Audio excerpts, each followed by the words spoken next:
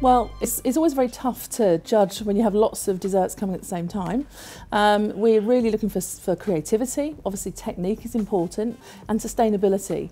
Um, we're looking for a little bit of everything. Don't give up. Uh, nobody walks away from a competition thinking they will ever do it again. Um, give it a couple of days, think about it, think about what you did wrong, get some feedback, and then hopefully the next application will come rolling in. keep going, okay, keep going. Um, this is not the end of the competition here. You've still got another stage to get through. And take a look at what everyone else is doing. It's really important to know where your, your, your field is, you know, know what other people are up to, get out there as much as possible, and really try to look into those key messages.